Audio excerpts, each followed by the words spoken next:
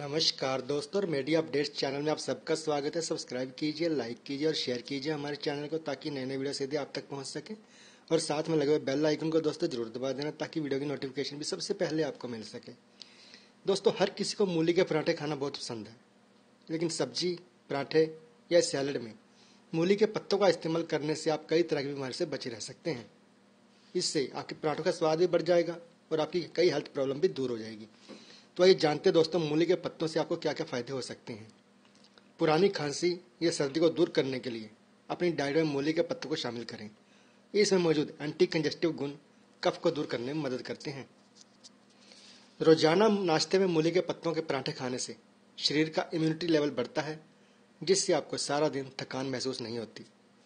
मूली के पत्तों में पाए जाने वाले फाइटोकेमिकल्स और एंथाकाइनिन के गुण कैंसर को खतरे, के खतरे को कम करते हैं। इसके अलावा, इसमें मौजूद विटामिन सी शरीर में एंटीऑक्सीडेंट की तरह काम करता है। रोज़ाना इसका सेवन करने से इसमें मौजूद एंटी एंटी और पोटेशियम, हाई ब्लड प्रेशर को कंट्रोल करने में मदद करते हैं। फाइबर से भरपूर मूली के पत्तों को रोज़ाना खाने से शुगर लेवल नहीं बढ़ता। इसमें मौजूद तत्व इंसुलिन को कंट्रोल करने में मदद करते हैं। इसमें पाए जाने वाले तत्व शरीर से विशाले पदार्थों को निकालकर किडनी को हेल्थी रखते हैं। इसी कारण इसको नेचुरल क्लिंजर भी कहा जाता है। तो दोस्तों, ये थे मूली के पत्तों के फ़ायदे।